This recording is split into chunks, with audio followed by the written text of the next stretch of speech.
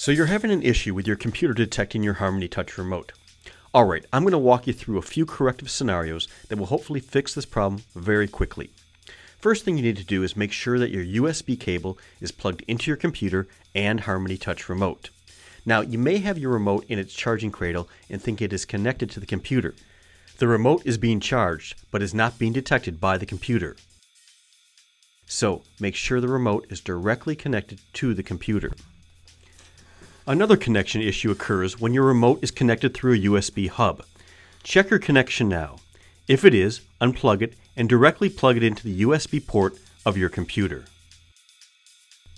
Now sometimes the system just needs to refresh, so I'll give you a few ways to do this.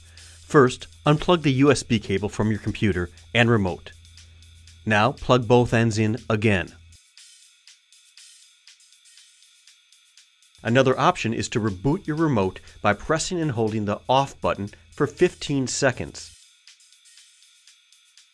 After the Harmony reboots, plug your remote back into your computer. Now, if you're still not connected, you can try an internet browser refresh. To do this, completely close your internet browser on your computer and then reopen it. Next, return to myharmony.com with your Harmony Touch plugged in. Alright, still having a problem. Try to plug the USB cable into a different USB port on the computer. And if that doesn't work, try to restart your computer or use a different computer.